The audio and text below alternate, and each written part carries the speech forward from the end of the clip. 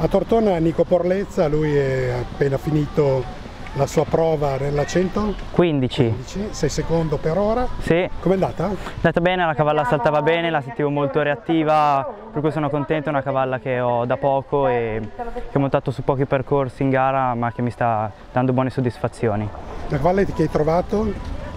Ne ho trovato, siamo arrivati tramite un commerciante, Emilio Confalonieri, che monta qua, è anche un cavaliere professionista e che- con cui mi sto trovando, italiana e buona cavalla. Continuerai anche domani con la 115? Sì, domani farò- eh, l'ho iscritta di nuovo alla categoria C115, che sarà una categoria a tempo su 10 salti e speriamo vada come oggi, anche meglio. Sei, sei giovane, eh, lo farai da grande il cavaliere? Eh sì, è il mio sogno, sogno. lo spero. Monti qui al Torione? Monto qui al Torione, Come si sta? si sta bene, è un bellissimo posto, un bellissimo clima, buone le strutture e il fatto di avere concorsi in casa è anche un'ottima un'ottima opportunità. Chi ti segue?